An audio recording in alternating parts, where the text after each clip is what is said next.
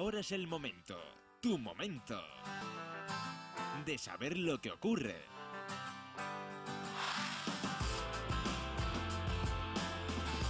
De buscar una respuesta a problemas sociales. De encontrar una solución.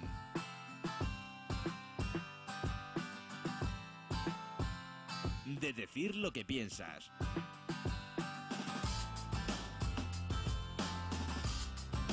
Ahora es tu momento de dar tu opinión.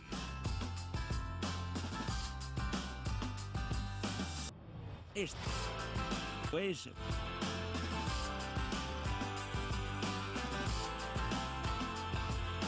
Barcelona ahora.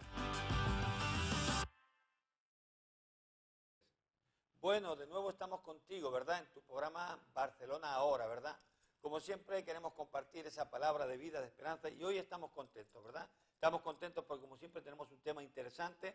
Recuerda que hoy es el tema de Hablemos la Palabra. ¿Por qué Hablemos la Palabra? Porque la palabra va a ser algo que va a transformar la vida, va a transformar incluso la sociedad y el mundo puede cambiar, porque la palabra de Dios tiene el poder para poder hacerlo. Así que te invitamos a que te quedes con nosotros para hablar de la palabra, ¿verdad? La fe viene por el oír y el oír la palabra de Dios. Elena, estamos contentos, perdón, un programa más de Barcelona ahora. Y como no quiero darte paso para que puedas saludar ya a nuestros amigos que nos están viendo ahí en sus hogares y en tantos lugares.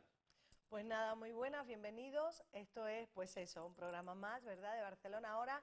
Y nada, ahora mismo es que Barcelona va a recibir una palabra poderosa que va a traer cambios, transformación. Y estamos, pues eso, estamos, Falín, eh, enamorados de Barcelona, ¿verdad? Amamos, mucho Barcelona, ¿eh?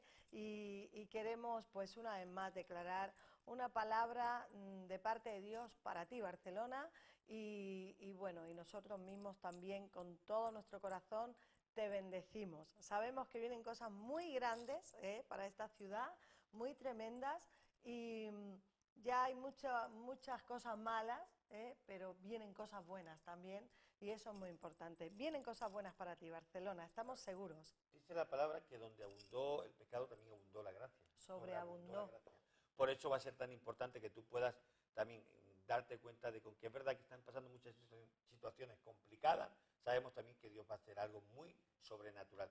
Vamos a ir ya a un corte simplemente dejándote el tema en el que vamos a estar compartiendo. Hoy vamos a estar compartiendo, Elena, que va a ser muy interesante los efectos, ¿verdad?, de la crisis que está teniendo eh, en, la sociedad, en la familia, en, los individuos, ¿verdad? Ya que tanto emocional como eh, psicológicamente y en muchas áreas más está afectando esta crisis. Pero también hay respuesta a la palabra de Dios para ello, ¿verdad? Por eso vamos a estar hablando de la palabra. Vamos a volver en un minuto, Elena, con este tema. ¿Qué te parece?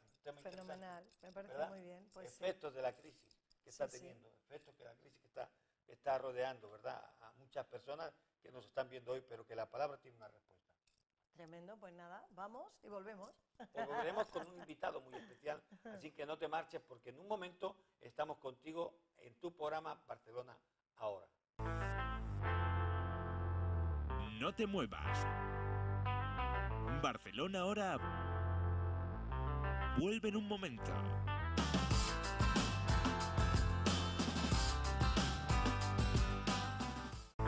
Seguimos contigo en Barcelona ahora. Bueno, ya estamos de nuevo contigo, ¿verdad? Ya te dije que iba a ser una, una pausa breve, ¿verdad? Solo para, ¿verdad?, anunciarte y, decirte todos esos eventos que estamos realizando en TV Cairo. Eh, quiero recordarte, ¿verdad?, que también a través de teléfono y a través de Facebook puedes ponerte en contacto con nosotros e incluso en este tiempo que estamos teniendo del programa, tú puedes a través del Facebook también ponerte en contacto y dar tu opinión, decir qué te parece, hacer alguna pregunta, porque queremos que sea un programa interactivo, ¿verdad? Pero continuamos, continuamos en esta tarde, Elena, eh, contentos, felices, ¿verdad?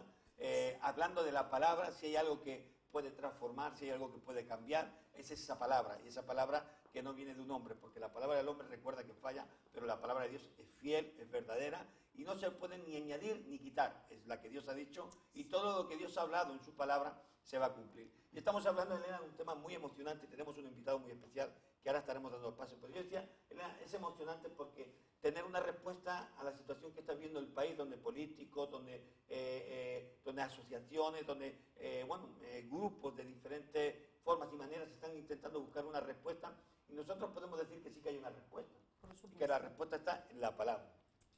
Así es, Falín, la gente está desesperada porque está yendo a fuentes ¿verdad? Que, bueno, que les están, están bebiendo aguas que no tienen el resultado, ¿verdad? Pero hay un manantial, es el manantial de vida, es Jesucristo, es Dios, es el soberano, es el primero, es el último, eh, es el todo, ¿no? Entonces, eh, yo entiendo que, que, la gente pues todo lo quiere razonar y todo lo demás, y por eso les cuesta tanto encontrarlo, ¿verdad? Pero eh, si fuésemos, si nos hacemos sencillos, eh, pues simplemente hay que ir a Dios y, nada, y rendirte. más fácil, claro, y rendirte y dejarle que Él haga lo que tiene que hacer, ¿verdad? Porque Dios quiere hacer eh, su parte, pero el hombre no le deja. Y, bueno, y simplemente pues ese es el obstáculo, ¿no? Del por qué no pasan las cosas en la tierra. Si verdaderamente eh, están buscando en tantos lugares y no están encontrando gente especialista, gente que sabe, gente que entiende, gente que tiene estudios, gente que, no sé, quizás que, que, creen que están tan capacitados, porque capacitados no están. Pues si estuvieran capacitados lo hubiesen encontrado. Entonces capacitados no están, pero creen que están capacitados, pues esa gente que cree que está tan capacitada y que tiene eh, tanto poder para dar la solución, que ven que no están capacitados porque no la dan, sería muy bueno que buscaran a Dios, porque Dios sí tiene la respuesta.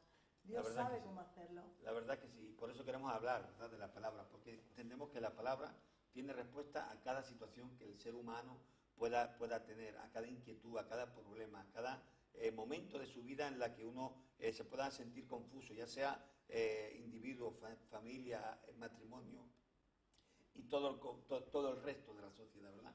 Y por eso estamos hoy hablando contigo sobre ese tema y tenemos un invitado muy especial con nosotros. Hoy tenemos al pastor eh, César, César Obando. Obando. Obando.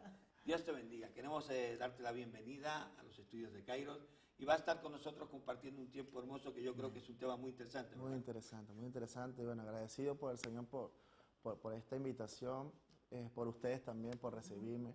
Y bueno, lo principal es enviar un saludo a todas aquellas personas que nos están viendo ahorita que de verdad que se están preguntando hoy en día, oye, ¿por qué pongo la televisión y me sale estas personas hablando de Dios? ¿Quién será? ¿No? Pero cuando decimos Barcelona hoy, porque es tu tiempo. El tiempo no es mañana, porque el faraón dijo mañana. Entonces Moisés dijo, oye, pero la solución es hoy. ¿Entiendes? Entonces la solución es mañana, Barcelona, la solución es hoy. No puedes dormir una noche más con las ranas. ¿Me entiendes? Tienes que salirte de las ranas, de las preocupaciones, de las deudas, de las enfermedades, porque Jesús te va a hacer el milagro hoy mismo. Qué bueno. Estamos hablando de este tema que creo que es un tema que está abarcando no a la sociedad española como a veces lo queremos abarcar, sino es mundial. Cuando hablamos de la crisis, hablamos de la crisis mundial. Hemos estado hablando en diferentes programas eh, de las crisis que se están viviendo, tanto eh, a nivel familiares como emocionales, pero todas, casi todas, tienen algo que ver una crisis que es la que el mundo teme, a la que el mundo eh, por la que el mundo está hablando. Fíjate que no hablamos tanto de crisis familiares, de crisis eh, de matrimoniales, de crisis eh, con nuestros jóvenes. Eso como que lo hemos aparcado para entender la crisis desde el punto exclusivamente económico. Y creo que eso es el mayor error, porque creo que el punto económico quizás sea el que menos importancia tenga, ya que todo va en torno, ¿verdad?, a la crisis de la familia, del hogar, del matrimonio, porque al fin y al cabo la sociedad y el mundo se constituye de eso, de hogares, ¿no? Así es. Bueno, mira, yo pienso que para los chinos, cuando le dicen la palabra crisis, ellos se ríen. Y yo digo, oye, ¿por qué se ríen los chinos si dicen crisis y hay preocupaciones? Hay algo financiero en este sentido. Entonces, entonces yo sinceramente lo que yo pienso es que la crisis para nosotros, no solamente para los chinos, para todos, debe significar un cambio. Hay una oportunidad. Que la crisis, cuando un niño está creciendo, por lo menos cuando un niño crece, le, le, amamantas, a los seis meses ellos necesitan comida, necesitan agua, beber. Tú necesitas ahora agua, necesitas comida. Este es el tiempo que Dios te está metiendo el biberón, pero después vas a, recibir la comida celestial. Y entonces muchas personas quieren vivir toda su vida con leche. Entonces ya son grandes y todavía beben leche. Entonces lo que está pasando hoy en día con el mundo Es que no han entendido todavía que Jesús es el pan de vida. Ya no es el tiempo de leche, Barcelona. Ya es el tiempo que tú comas a Jesús, ¿me entiendes? Que bebas su sangre, que bebas su palabra, vivas en, en abundancia, porque Dios no nos llamó a miseria, Claro. en pobreza. Entonces, las personas que hacen negocio, que quieren emprender algo, no han entendido hoy en día que Jesucristo es el éxito. ¿Me entiendes? No que, ser- no que quiero montar una empresa, quiero ser empresario y fracasan. ¿Por qué fracasan? Porque pusieron todo eso en, en- en arena. Pero si tú pones todo en la roca, que es Jesucristo, te va a salir bien. Por eso todas las mayores industrias, empresas, bancos han quebrado. Porque piensan solamente en robar. Y eso es lo que vino el enemigo, solamente a matar, a robar y a destruir. Pero Dios vino a dar eso, vida eterna, estrategia para uno crecer, ¿no? Como ser humano y para ser bendecido, pues. Tremendo. Fíjate que hay una palabra en la Biblia que me encanta, ¿verdad? Porque eh, en el libro de Amós dice que vienen días, dice el Señor Barcelona, que vienen días, ¿eh? dice, en los cuales enviaré hambre a la tierra, dice el Señor. Pero fíjate, dice, pero no hambre de pan, ¿eh? ni sed de agua, sino de oír la palabra de Dios. Y yo creo que ese tiempo viene, yo creo que eh, Barcelona ahora, ¿verdad? Es el tiempo en el que estamos declarando y estamos profetizando que viene ese despertar, que viene ese hambre. Estamos, eh, la sociedad está asustada porque, porque sí es cierto, ¿verdad? Que también eh, está como llegando una hambruna o hay gente, ¿no? Que, que lo está pasando mal, ¿verdad? Y, están pues viviendo mm, esos momentos de, de hambre, ¿no? Hay necesidad de pan, de pan, de pan de comer, de pan físico, ¿verdad? Pero qué tremenda esta palabra, ¿no? Porque dice el Señor, os voy a traer un hambre que es más importante todavía, ¿verdad? Que el de comer pan, que es muy importante, que necesitamos nutrirnos, que no quiero que nadie me malinterprete, ¿verdad? Y que a lo mejor muchos digan, claro, tú como comes todos los días, Claro, pues, en tu casa y no te eh, que eso es, ¿no?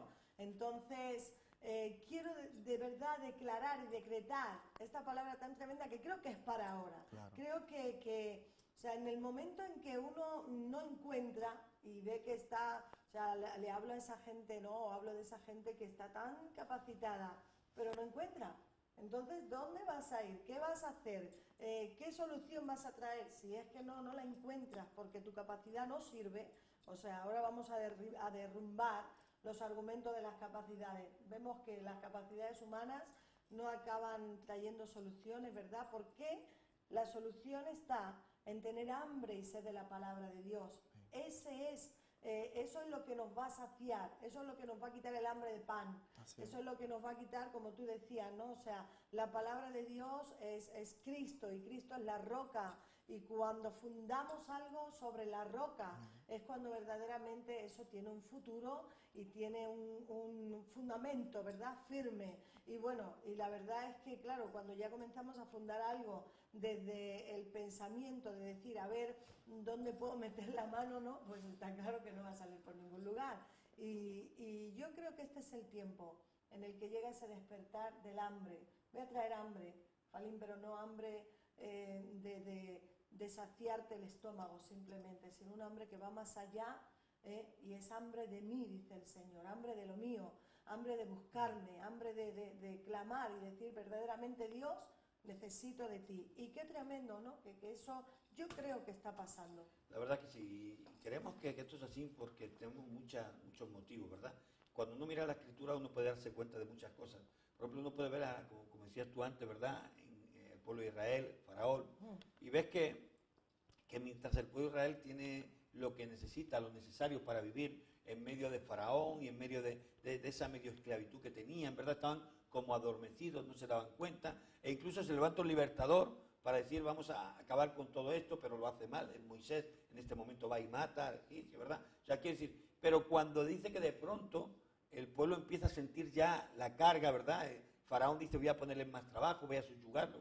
Y pronto empiezan a darse cuenta de que todo su trabajo, todo su esfuerzo, todo aquello por lo que habían trabajado dentro de, de- de- de- de los egipcios, ¿verdad? Eh, se le estaba yendo de las manos, o sea, ya ahora ya estaban cargados.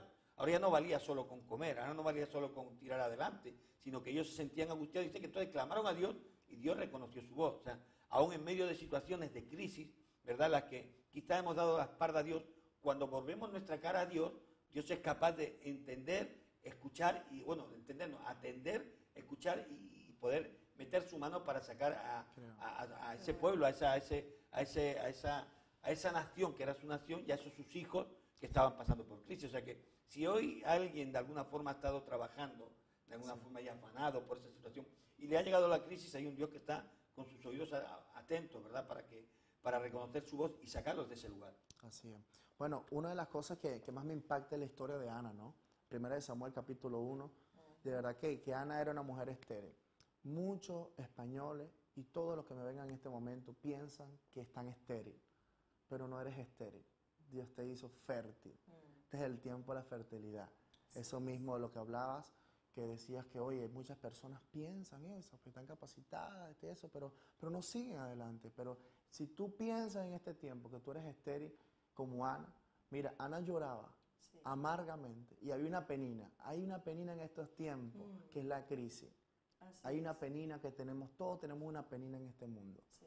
No sé qué penina será la tuya, no sé qué penina ha influenciado en tu familia, en tu finanza, pero yo te está diciendo hoy que tú puedes llorar amargamente, pero a mí lo que me impacta de 1 Samuel capítulo 1, podemos leerlo, dice que eso fue lo que más me impresionó, que dice en el versículo 10, dice, ella con amargura de alma oró a Jehová y lloró, a- y lloró abundantemente. Pero al final, eso es lo que más me impacta de esta palabra, dice que tenía a Penina. O sea, el Cana, ¿Quién era Penina? Penina era una de las esposas del Cana. Ajá. El Cana era un hombre conforme al trabajo, o sea, era un hombre obediente a Dios, Sí. ¿me entiendes? Pero cada año ofrecía un hijo, ofrecían algo. O sea, no sé qué, tú- qué cada uno le, le ofrecemos a Dios. Mm. O sea, tenemos que pensar en nuestro corazón, ¿qué le estamos ofreciendo a Dios? Le estamos ofreciendo nuestro tiempo, no solamente las finanzas, porque las finanzas es algo muy importante para que sigamos adelante, ¿no? Ajá. Pero dice, eso es lo que más me impresiona, que Penina fastidiaba y molestaba siempre a Ana. No sé qué te está fastidiando a nosotros, no sé qué te está fastidiando hoy a ti, pero Dios te dice que aunque llores abundantemente como lloró Ana, en el versículo 19 dice, levantándose de mañana adoraron delante de Jehová. ¿Por qué adoraron? Porque en ese tiempo Dios le bendijo a Ana y le dio la oportunidad de tener un hijo. o sea, Entonces, que ella era estéril exacto, y de repente concibió. concibió porque escuchó el clamor de Ana. Tú- mira, Barcelona, tienes que clamar. Tenemos que clamar en este tiempo porque Dios nos está escuchando. Y lo que más me impacta esta palabra era que, o sea, una noche antes ya Dios tocó la vida del Cana. Entonces ya prácticamente Dios le tocó su corazón para que estuviera con su mujer. Pero cuando estuvo otra vez con Ana, concibió y dice, "A- levantándose de mañana, adoraron delante de Jehová, versículo 19, y volvieron y fueron a su casa en Rama. Y el Cana se llegó a Ana, su mujer, y Jehová se acordó de ella. Este tiempo es el que Dios se está acordando de ti. Es fuerte, ¿no? Muchas personas, Dios se olvidó de mí. Me gusta esa palabra porque es Uf. como cuando estaba diciendo yo ahora que dice que, que Dios escuchó su voz y clamor y reconoció que era su pueblo. o sea, Dios reconoce a un hombre cuando está quebrantado, Dios reconoce a Ana cuando estaban justamente adorando, por- porque había esa, esa necesidad de tener un hijo. Y Dios reconoce a cada una de las personas que en este momento, de verdad, con, con una sinceridad profunda en su corazón, está diciendo yo, yo quiero, Señor, de ti, yo quiero que tú te reveles, yo quiero que, que tú te muestres, yo quiero que me saques de esa crisis. Ya puede ser quizás no económica, familiar, quizás no familiar, sino eh, psicológica, estás metida en un túnel, en depresión, en tristeza, pero Dios quiere hacer eso, Dios quiere sacarte, como sacó a Ana y como sacó al pueblo de, Israel, de, de Egipto, ¿verdad? Y fíjate que las crisis serenas siempre estuvieron. Hoy hablamos de crisis como si fuera algo nuevo. Yo, yo quiero hacer una pregunta, quiero soltar una pregunta, porque hay tanta gente que nos está viendo, ¿no? Y dirá, bueno, pero vosotros eh, quizás claméis o, o tengáis, eh, con- bueno, me imagino que muchos no se imaginan, ¿no? Cómo nos relacionamos con Dios, pero ellos dirán, pero yo, mm, ¿cómo yo me acerco a Dios, ¿no? ¿Cómo, cómo yo clamo? ¿Qué hago? O sea, ¿dónde está Dios? Eh, ¿Quién es ese? ¿no? Me gustaría que, que quizás pues contestarais, porque yo sé que hay mucha gente que se está haciendo esas preguntas, ¿no? O sea, vosotros lo tenéis muy claro, pero esto que me estáis diciendo, ¿qué es? ¿Qué significa, no? A ver qué le Voy a dejar decir. el primero el pastor y luego yo lo voy a Muchísimas gracias, muchísimas gracias. Bueno, mira, la, la oportunidad que todos tenemos, Dios es un Dios de oportunidades, siempre lo digo. Hace 10 años, hace 10 años, por mi cuenta propia, yo, yo decidí aceptar a Jesús. ¿Qué es aceptar al Señor? O sea, muchas personas dijeron, no, tienes que aceptar a- al Señor. Yo decía, ¿qué Señor? El Señor Pedro, el Claro, Señor José de la claro. esquina. Yo no, fue alguien que fue por ti a la cruz a morir. Mi mamá, mi, mi mamá prácticamente fue sana de cáncer en una, en una etapa terminal. Mi mamá me predicó directamente a Estados Unidos. Yo vivía en Venezuela. Ajá. Y me, me hizo la oración de fe por teléfono. Mm. Y yo estando en plena discoteca. Entonces yo recibí al Señor, oraba. Y yo dije, Señor Jesús, cuando tú aceptas al Señor es confesar. Dice la Biblia que si confesares con tu boca que el Señor Jesucristo fue este, eh, muerto, o sea, y resucitado, tú y tu casa serán salvos. Eso es lo que más me impacta esa palabra, tú y tu casa. Tú puedes ver a tus hermanos. ¿Cómo acepta al Señor? Abre tu corazón. Dice que si nosotros abrimos nuestro corazón, Él es fiel y justo para perdonarnos. Tu nombre será escrito en el libro de la vida. Hay un libro, como todo registro, pero hay un libro y un pasaporte que es el reino de los cielos. Qué tremendo. O sea, nos podemos empadronar, ¿no? Lo, nos podemos empadronar. Me parece una locura y el tema es el siguiente, siempre la gente que nos escucha y quizás no tiene eh, esa- ese entendimiento, ese conocimiento y esa revelación de lo que es Dios, siempre dice, pero bueno, es que lo que, lo que habláis parece locura, pero es normal.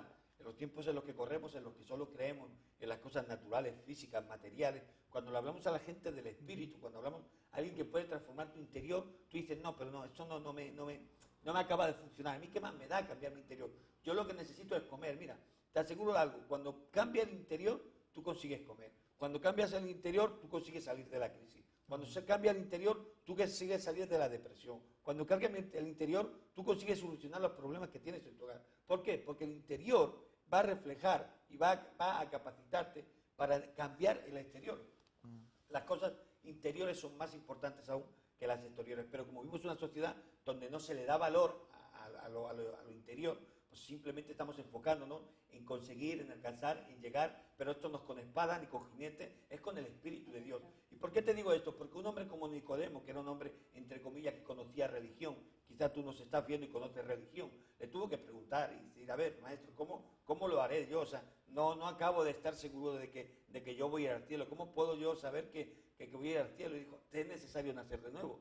Y dijo, bueno, pero esto no acabo de entenderlo. Entonces ahí viene la mente natural. Yo hablaba el sábado con una, una, una muchacha y ella me decía, pero no acabo de entender, pero no acabo de comprender. Pero es que yo vi eh, aquella religión y la otra religión y esto y es que yo conozco. Estoy abierto a, a todo y creo en todo. Y, y bueno, yo no, yo no soy reacio, yo sé que Dios existe, pero pim, pom, pim, pom, pero la final era un cacao, un, un caos mental, ¿verdad? Que yo decía, mira, es que no tienes que entender nada. Tú tienes que ir a Dios y decirle, Dios, yo te entrego mi corazón y a partir de este momento yo quiero que tú dirijas mi vida. Porque tú no lo vas a entender. Porque así como el viento sopla y no sabes ni a dónde viene ni a dónde va, pues de esta misma forma vas a sentir algo en tu interior.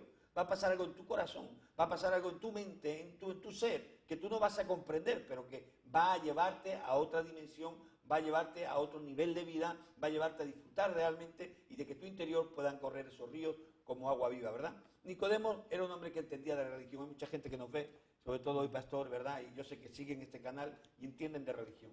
Han visto muchas, han escuchado de muchas, han estado averiguando de muchas y siguen preguntándose, pero ¿cuál es la verdadera? La verdadera es Cristo. No hay otra religión. Y la forma de conocer a Cristo es ir a Él con un corazón sencillo y humilde, porque Dios no desecha nunca un corazón humilde. Esa es la forma de que tú puedas ir a ese Dios. Y tú dices, ¿y quién es ese Dios? Lo conocerás cuando te acerques a Él. Esta muchacha me decía, pero ¿y quién no puedes conocer? ¿Cómo, ¿Cómo voy a conocer yo a alguien con el que no trato?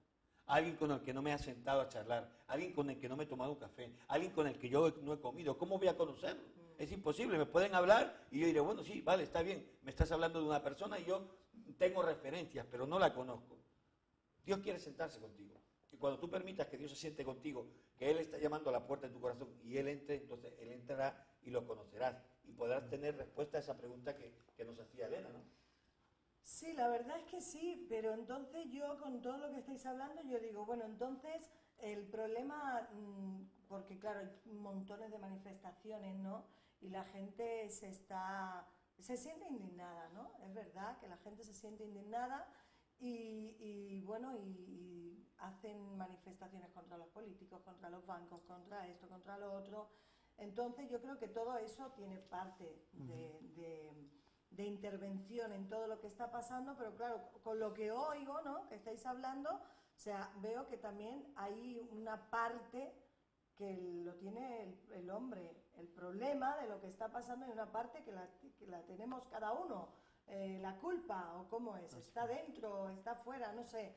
Eh, Pastor César, no Bueno, sé qué mira, piensas tú. Yo he visto muchas manifestaciones, y no solamente aquí en Barcelona, sino en, en diferentes países. Y más que todo, yo me he dado cuenta y lo que más me ha llamado la atención Mm. es que siempre en los periódicos reseñan diciendo que eh, una mujer entró al banco y se suicidó. Una mujer hizo esto y se suicida, se lanzan de los pisos. Sí. Y yo digo, wow, qué impresionante, ¿no? Yo estoy averiguando cuál era del país de Europa con mayor índice de suicidio, Sí. y era Suiza. Ajá, Yo decía, pero ¿por qué si en Suiza lo hay todo? ajá. ¿Pero por qué si en Suiza no hay crisis? Lo no tiene. Hay- El gobierno mantiene a los jóvenes. no. Ya no hay crisis. O sea, ¿por qué ellos se suicidan? Y yo, yo entendí que no solamente es la crisis aquí en Barcelona que la gente se suicida, sino es algo del corazón. Interior. La necesidad, la depresión, te lleva a eso. Y muchas personas cuando, que yo he escuchado jóvenes que me han dicho en mi cara, mira, yo mañana me suicido. Mm, Yo le digo, ¿y tú piensas que tú haciendo esa decisión tú vas a lograr algo? Una respuesta, una solución. ¿Te vas a ir al infierno o vas a estar en un lugar que no vas a, estar bien? Y él me dice, ¿y entonces quién me asegura a mí que yo me voy para el cielo? Si, yo me quiero suicidar, ¿puedo ir al cielo también? Y yo le dije, no puedes hacerlo, porque el Señor viene pronto por su iglesia y tenemos que estar atentos. Así que si el Señor te tiene pasando este momento de crisis, de tribulación, es por algo, ¿me entiendes? Entonces yo me puse a estudiar a la gente de Suiza y decía, bueno, está bien, todos tienen dinero, todos no tienen gente, pero cuando yo conversaba con los suizos, que también hablo el inglés, y conversaba con ellos, yo, yo, o sea, e- ellos lo que me podían decir en- en- de frente, conversando, tomando un café, lo que me podían decir era que siempre estaban solos, les faltaba un padre. Su padre siempre se iba. ¿me entiendes? Con otra, pero siempre quedaba la mamá. Yo decía, este país y este mundo necesita un padre. Es. Ya eso viene de la sociedad. ¿Y cómo, ya eso viene del podemos- corazón. cómo, cómo se puede? em, porque claro, necesita un padre, entonces, bueno, si mi madre eh, se junta con otro hombre, pues ese será mi padrastro, ¿no? Como, como se suele decir, Vale. eh, pero quizás ese modelo también es, eh, de repente también falla, ¿no? Entonces, ¿cómo, cómo echamos mano de ese padre? Vale, ¿qué pasa? Hay personas que se divorcian, hay personas que se van, nunca conoció a sus padres. Yo nunca he conocido a mi padre, Mm, pero conocí un padre fiel y justo. ajá, Este Barcelona hoy, como dice el programa, necesita conocer un padre ajá, que ya no es humano, ya no es porque tiene el apellido tal, porque tiene las finanzas tal, no, es un padre que jamás te va a fallar. Si esta sociedad hoy en día no es por el padrastro que tenga, tú tienes que respetarlo porque es tu autoridad, Claro. es la pareja de tu mamá. claro. ¿Me entiendes? Pero en este tiempo, para que nuestros hijos, nuestro futuro, crezca en un fundamento, más, más que todo de nosotros, de, de nosotros hijos, o sea, de, de nuestros hijos como tal, necesitamos como tal, o sea, creerle al Padre. Las personas no le creen al Padre, van a los hechiceros, a los brujos, a las cartas, a la lotería, y no está la lotería. Suele pasar, ¿no? Que inclusive cuando hay un hogar, eh, llega, dice que llega un momento, ¿no? Tú lo dijiste el otro día, llega un momento en el, en el, en el hijo, ¿no? En el adolescente, dice que cuando el niño es pequeño quiere ser como su padre, pero que cuando cumple 18 años ya no quiere ser como su padre. Entonces, eh, parece que, que- que estamos en la edad de los 18, ¿no? En que no quiere nadie ser como su padre, pero después llega un momento que otra vez necesitas eh, ser como tu Esa padre, es la ¿no? crisis emocional, la Ajá. crisis de- del hijo pródigo, la crisis de la persona que, que decide mm, experimentar, Cree ver, que sabe querer, más que eh, los creer que sabe más, que, que- que esa persona que por edad, por autoridad, por gobierno, ¿verdad? Eh, ha vivido, ha recorrido más y ha pasado por experiencias las mismas. Yo creo que casi todos los seres humanos pasamos por las mismas experiencias. Mm. Entonces, muchas veces quitamos eh, el- el- la, la imagen del padre, queremos otro modelo. Queremos crear un modelo según nuestro, nuestro entendimiento. Yo voy a crear mi modelo, mi carácter, voy a hacer, voy a disfrutar y voy a salir. Y no tengo que ser como mi padre. Mi padre se la pasó trabajando, pero yo voy a dedicarme más a salir y a, y a estar de fiesta y a tener amigos. Y creo, creo un modelo que luego me doy cuenta de que ese modelo Ajá. me ha defraudado Ahí y me está. siento otra vez eh, mirando otra vez al padre para decir, no, el modelo de mi padre era un modelo estable. Era el mejor. Era el mejor. Ajá. Entonces, o sea, realmente vemos esto, ¿no? Que, que- que muchos hemos cogido modelos personales, pero que en definitiva no nos han sacado de nada. Entonces hay un modelo, que es el que tú estás hablando, César, ¿verdad? Que es el modelo del padre. Los hombres tendemos siempre a fallar, ¿eh? los hombres eh, defraudamos, los hombres erramos y, y, bueno, y derribamos de la imagen muchas veces, ¿verdad? Pero hay alguien que no nos falla jamás y ese es el que necesitamos. Barcelona Exacto. necesita hoy, como le dije, no mañana, ya sabes, recuerda, no mañana, es hoy. Necesitamos un padre. Cuando tú abres la puerta de tu corazón a tu padre y le dices, Dios, restaurame. Yo me acuerdo que yo, yo, yo estaba borracho en plena discoteca, impresionante. Mi mamá me hizo la oración a las 12 de la noche, yo con chicas, amigos, malas juntas, y, y- y fue fuerte. Pero cuando yo salí del lugar y yo recibí a mi padre con todo mi corazón, yo comencé a llorar. Yo decía, ¿por qué estoy llorando si yo soy un hombre y los hombres no lloran? ¿Qué pasa? Pero ahí yo reconocí que necesitaba un padre. Yo llegué a mi casa y le dije, Dios, yo quiero ser como tú. Quiero ser como tú porque tú eres, o sea, somos semejantes a ti. Amar al prójimo, darle la mano al caído. Yo quiero, hasta pasaron 10 años ya y le doy gracias al Señor porque, porque aparte mi madre ha sido también un padre para mí. Entonces me ha enseñado y he visto el ejemplo de mi madre, pero también el ejemplo de Dios a través de su palabra. ¿Cómo puedo saber cómo tener un modelo del Padre? Lee la palabra de Dios Claro. y vas a ver cuántas veces Dios dirigió, dirigió a sus hijos y los disciplinó. O sea, mucha gente dice, no, que Dios es amor. Sí, Dios es amor, pero también Dios fue fuego consumidor con muchas personas que desobedecieron. No te estoy diciendo que eso no va a ser contigo. No, no, amén. Dios es un Dios de oportunidades, como lo dice aquí, que dice que Dios se acordó de ella. Eso fue lo que, o sea, Dios se acordó de mí, Dios se acordó de nosotros. Por eso Dios se está acordando de Barcelona y le está diciendo, yo soy tu padre. O sea, de Impresionante. ese ¿no? hombre, de esa Hay mujer, una- hay una- de ese chico, de esa chica que, que no, que esto que están escuchando es nuevo. O sea, y les estamos diciendo que de, de ti Wow. Se está acordando Dios. ¿Eso es así? Así mismo. Qué tremendo, ¿no? O sea, Qué Dios se está. Tremendo. acordando de ti. Pero tenemos que seguir hablando porque tenemos que ir a un corte. Sentimos mucho, pero hay que ir a un corte. En un momento volvemos contigo y seguimos hablando de este tema tan importante para que veas que Dios se acuerda de ti y para que podamos también ver un poco de dónde viene la crisis, ¿verdad? Si la hemos provocado nosotros o ha sido un acto de la casualidad. Vamos a estar viéndolo en un momento. Así que no te marches, estás en tu programa Barcelona ahora. No te muevas. Barcelona ahora vuelve en un momento.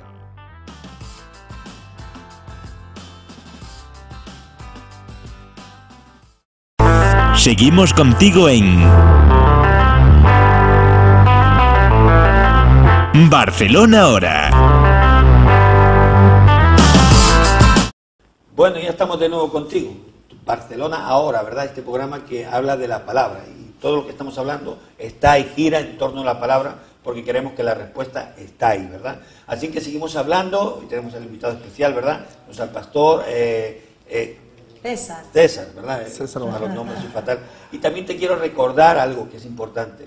Ahí abajo te salen los números de, de- de teléfono por si te quieres poner en contacto con nosotros, si tienes alguna duda, alguna pregunta, si realmente estás escuchando y tienes la necesidad de saber más profundamente de qué estamos hablando. Pues ahí tienes los teléfonos para que puedas llamar. También tienes el correo, el Facebook, donde te puedes poner en contacto con nosotros. Nos envía la invitación y encantado estaremos, eh, pues nada, contentos de poder aceptarte y de que seas uno más dentro de la familia de Kairos TV, ¿verdad? Así que continuamos en este tema y lo dejemos en, un momento en el que estaban preguntando, ¿verdad? Elena preguntaba, eh, bueno, y la gente pueda pensar que, que Dios esté pensando en ellos, que Dios los vaya a escuchar a ellos.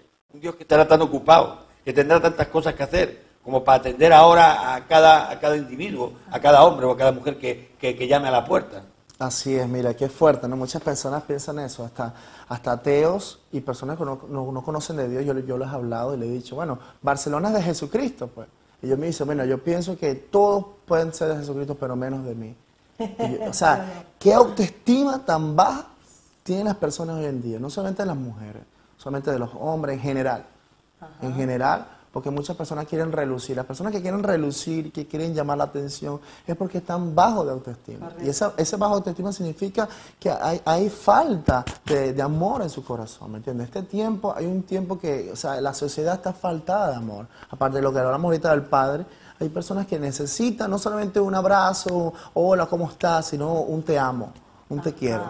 Hay personas que tú les preguntas hoy en día, yo puedo- o sea, podemos hacer una encuesta, yo, yo me anoto, Ajá. y podemos hacer una encuesta y, podemos preguntar, mira, en la encuesta que diga, ¿cuándo te han dicho te amo?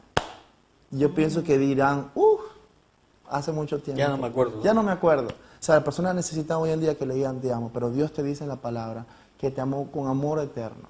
Te ama con amor eterno y entregó su único hijo, su único hijo para hacerte salvo, para que tú vivieras una vida sana, de, de plenitud, de bendición. Por eso hoy la sociedad no, no, no ha entendido eso. Y personas que han estado en otros sitios, en Singapur, haciendo misiones, y van a otros sitios que no, todavía no se ha predicado la palabra de Dios. La gente no sabe quién es Jesús.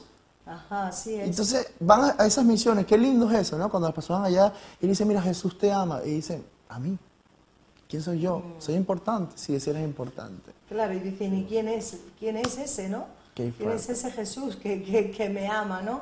Bueno, pues ya les estamos diciendo a todos que Jesús es Dios, ¿eh?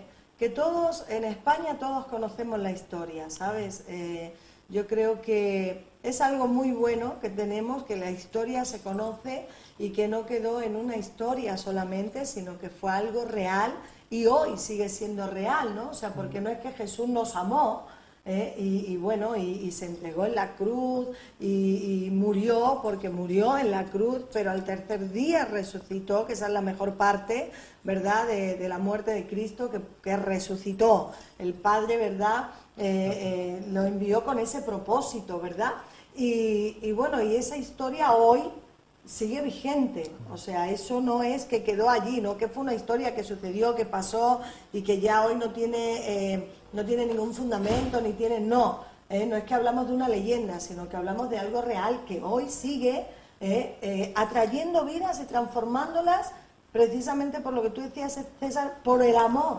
O sea, es el amor el arma de Jesús. El arma de Dios es el amor. ¿eh? Entonces yo veo que aquí, ¿no? ante la crisis que, que- que de la cual estamos hablando, se están usando un montón de armas, ¿no?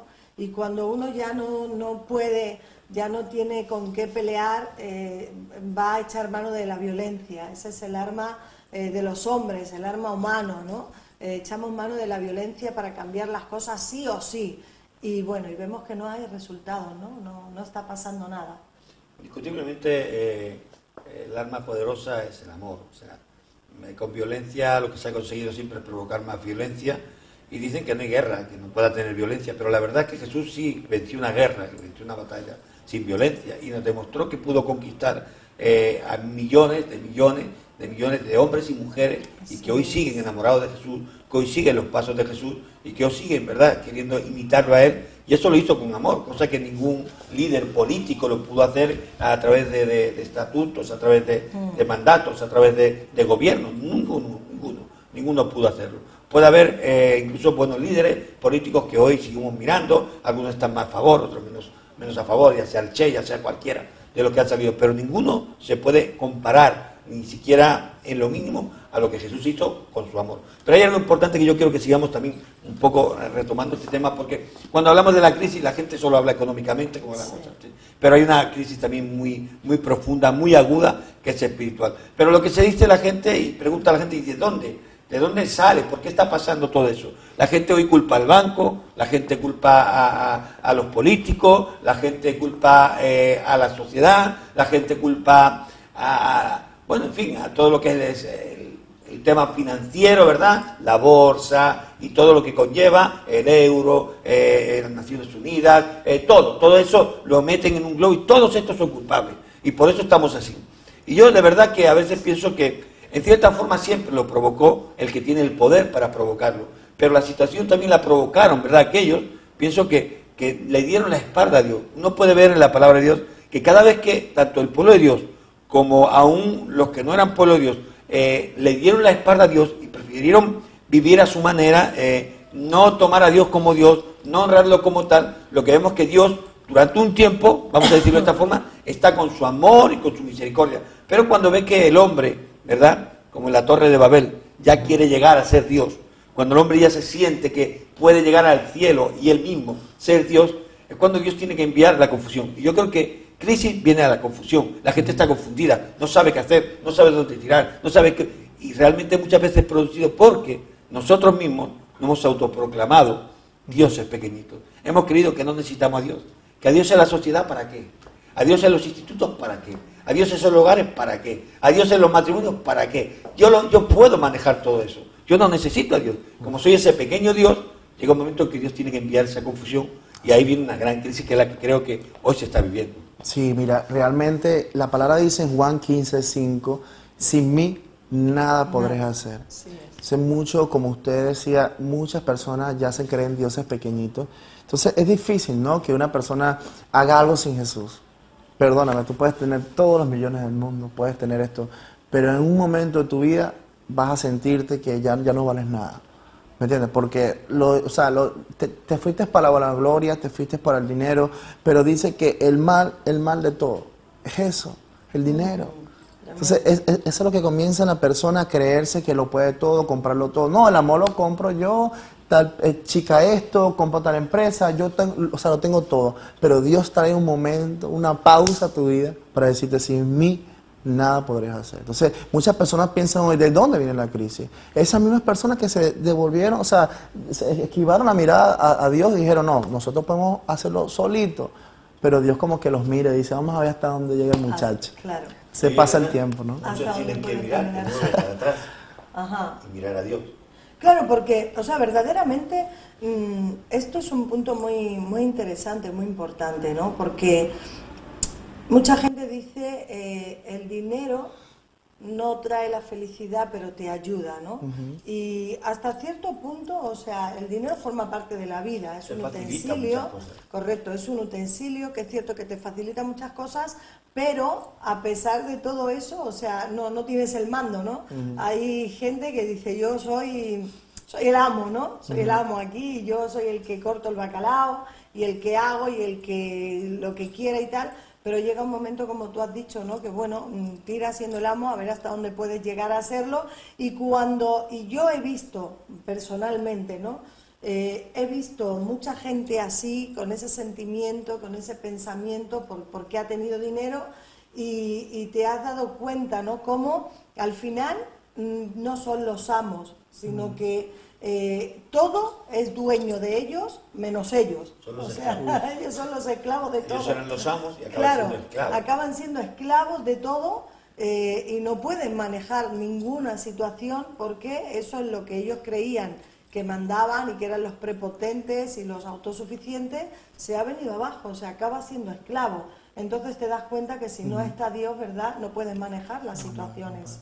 Bueno, y realmente yo pienso que en este tiempo el papel de nosotros como cristianos, que nosotros tenemos que jugar en estos tiempos, hay una película muy interesante que me gusta muchísimo, no sé a cuántas personas les gusta, que se llama Misión Imposible. Ajá. Ha, ha llegado hasta la 4, creo que viene la 5, no sé. Sí.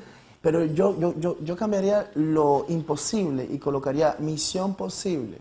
Y abajo colocaría voy por ti. Ajá. Este es el tiempo que la iglesia tiene que ponerse los audífonos que se colocan los, los espías Sí. para escuchar la voz de Dios.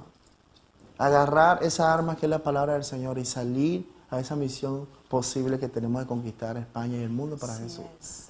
Porque si la persona deja su, su chaqueta, su chaleco, antibalas, ¿me entiendes? Y deja todo ahí guardado, dice, no, yo no soy ningún trabajador de nadie, yo no soy eh, ni- ningún agente, nosotros somos agentes del reino. Así es. Y si tú no has querido todavía que eres agente, yo te invito a que te coloques tu chaqueta, tu chaleco, tus audífonos y agarres tu arma y empecemos a conquistar esas almas que están perdidas Sí. y siendo atacadas por peninas en estos tiempos.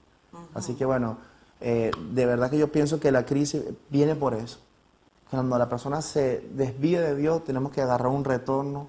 Dice que si mi pueblo se humillare, wow, esa palabra me impacta. Si mi pueblo se humillare y clamara a mí, dice que Él es fiel para perdonarme. Esa palabra nos impacta porque cuando traemos arrepentimiento, en arrepentimiento, pastor, vamos a traer el- ese nacimiento. Sí. Nicodemo estaba ahí y me imagino Nicodemo pensando, oye, pero ¿cómo hago para meterme otra vez en, en el vientre de mi madre? Es lógico, ¿no? Para nosotros. Pero a Dios no le importa nuestra lógica. Él, él- él es un Dios ilógico que hace cosas sobrenaturales. Si no- nosotros podemos a leer de Génesis hasta Apocalipsis, vemos cosas sobrenaturales y esas mismas cosas la quiere traer a estos tiempos en Barcelona. Así es. Tremendo. Yo tengo una palabra que siempre eh, suelo decir, ¿verdad? Cuando estamos. Y yo le digo a la gente, mucha gente, cuando eh, viene, se va, cuando eh, ha tomado decisiones que quizás entiendo yo que son erróneas, que, que van a venir las consecuencias. Y pasa el tiempo, ¿no? Y yo al final siempre digo, mira, hay algo que tú vas a entender con el tiempo, es por amor o por dolor. Pero de una forma u otra, Dios va a estar llamándote.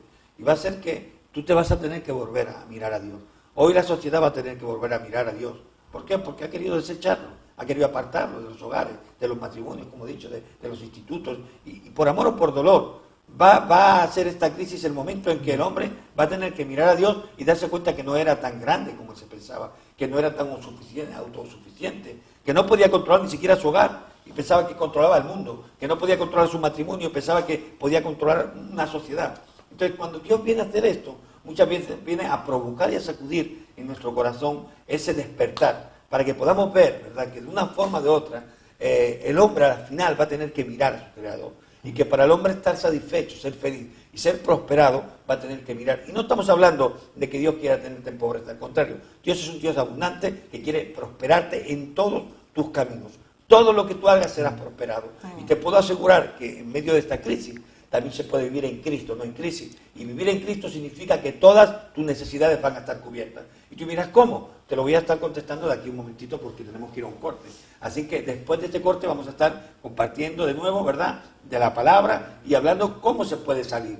Y si es verdad, vale, eh, ellos dicen que, que, la crisis viene por aquello, por lo otro, y tú dirás, a mí no me interesa nada de esto. Yo lo que quiero es salir de esa crisis. Claro. Yo lo que quiero es salir de esta situación. Así que dame la respuesta y déjate de, de, dar, de darle vuelta a la perdí. Venga, pues vamos a dejar de marear la perdí y te voy a dar la respuesta o te vamos a dar la respuesta después de este corte. Recuerda, estás en tu programa Barcelona ahora. No te muevas. Barcelona ahora vuelve en un momento.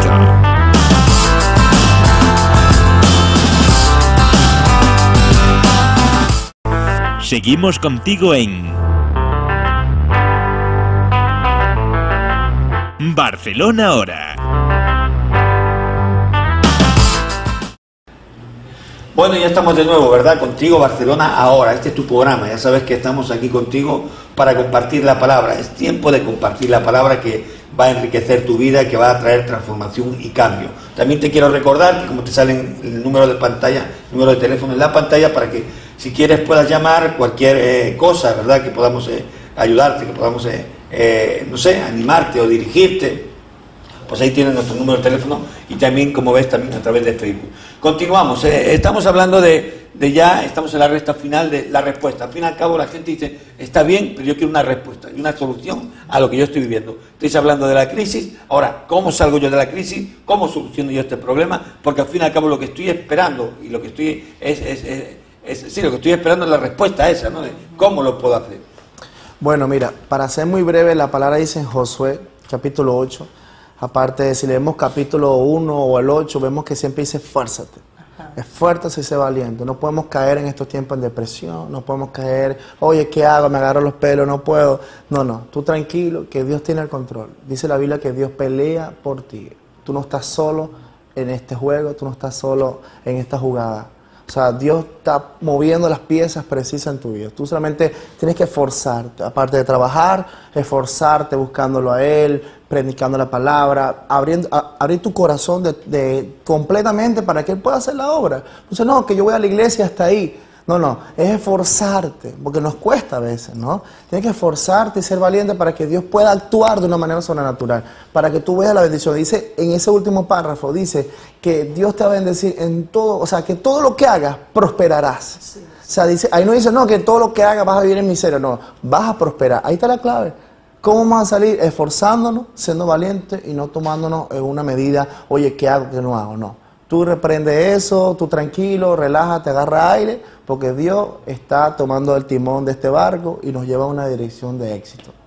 Qué bueno. Elena. Pues la verdad es que es muy importante lo que él acaba de decir, porque en el esfuerzo está la constancia. Y, y, bueno, y Dios nos llama pues precisamente a eso, ¿no? Lo que Dios quiere hacer en cada uno de nosotros es eh, hacer gente con constancia, gente que persevera, gente que no se esconde ni huye por el temor, eh, gente que, no sale corriendo por un rumor, ¿verdad?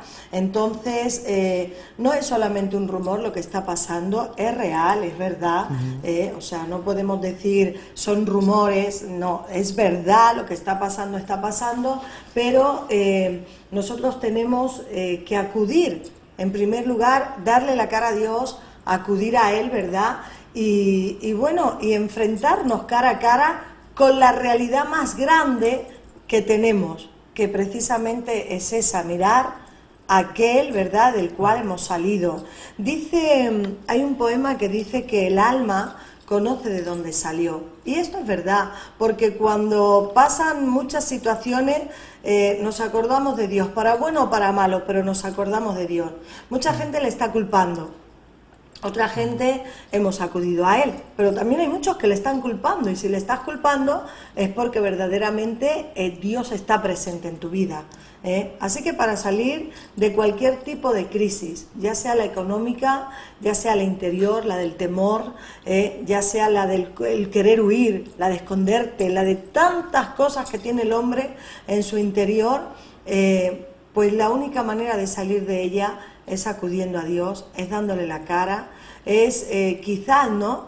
Eh, desafiando este momento, tu propia vida y diciendo, voy a hacerlo, voy a ir, voy a decirle, Dios, si verdaderamente tú me puedes sacar de la crisis que yo tengo, ¿eh? que quizás tú creas que solamente es la económica, pero que hay mucha crisis interior dentro del hombre o en la mente del hombre y de la mujer, pues ves a Él, Enfréntate a esta realidad. Esta es la realidad más tremenda que tiene la vida.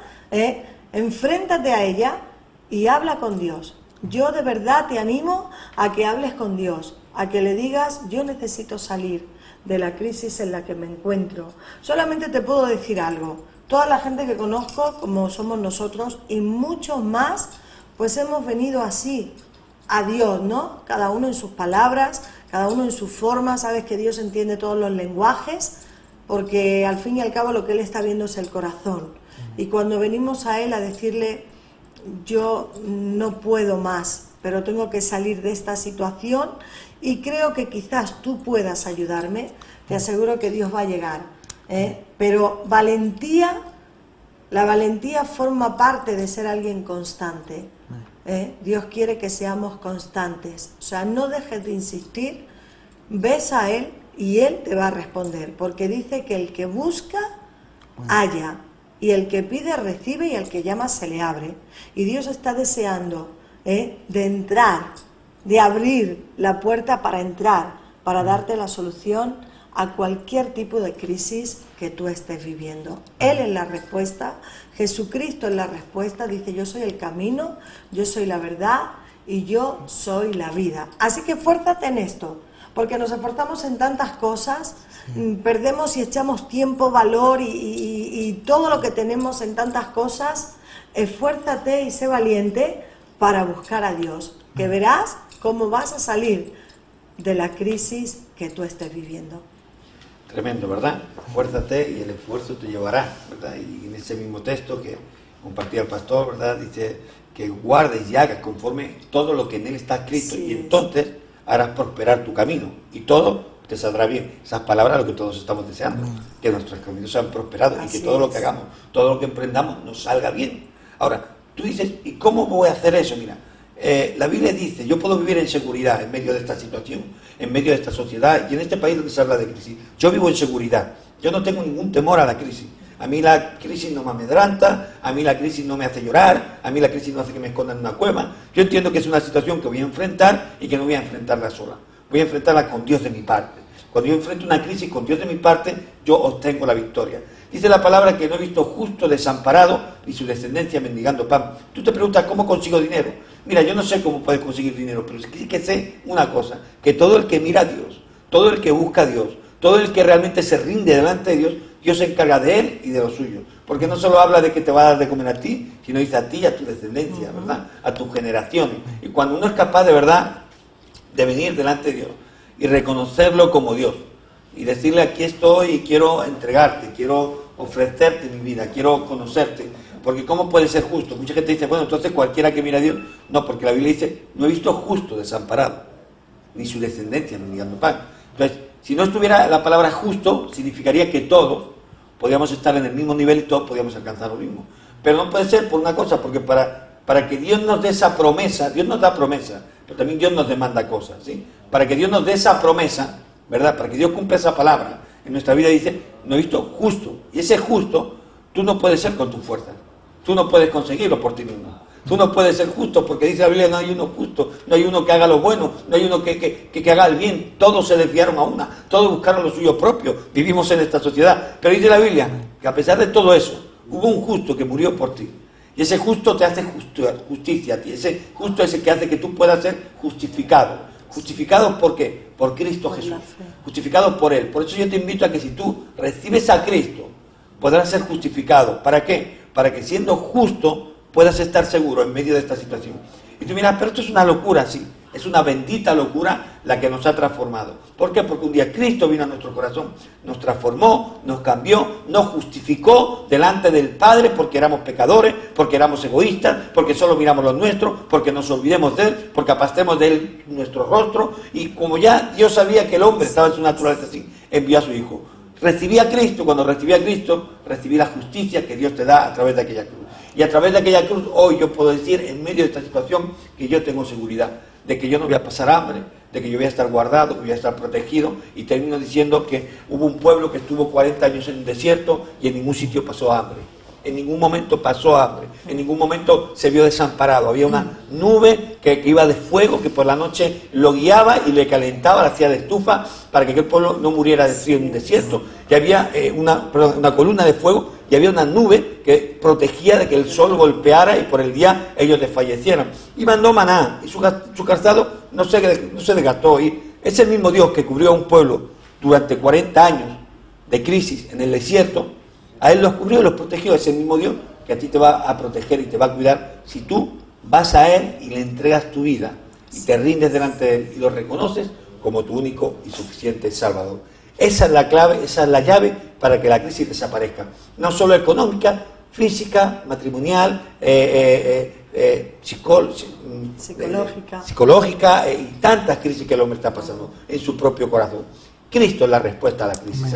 Así que te invitamos a que puedas hacer esa oración ahí donde estés y le digas, Señor, te recibo en mi corazón. De una forma sencilla, no es necesario gritar, no es necesario sentir nada, sino decirle, yo quiero recibirte quiero conocerte, yo te puedo asegurar que Dios va a entrar en tu vida y va a hacer grandes cosas. Pastor, quiero darle muchas gracias por Muchísimas gracias a ustedes. Es un placer haber tenido en, en Kairos TV, en los estudios.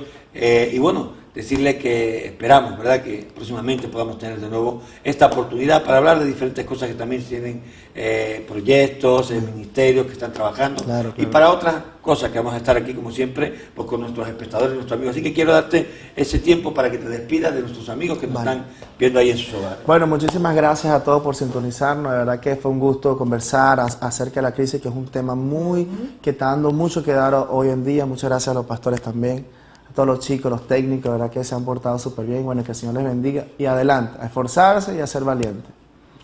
Pues bueno, por mi parte yo me despido, Elena. Pues sí, yo también. Eh, un abrazo muy grande para todos y bueno, como no, pues también agradecerte. Ha sido muy bonito compartir la palabra contigo y con todos nuestros amigos de Cairo que siempre están ahí. Ya lo sabes, el consejo del pastor invitado que hemos tenido hoy, César, eh, fuérzate y sé valiente, porque dicen por ahí que de los cobardes no hay nada escrito.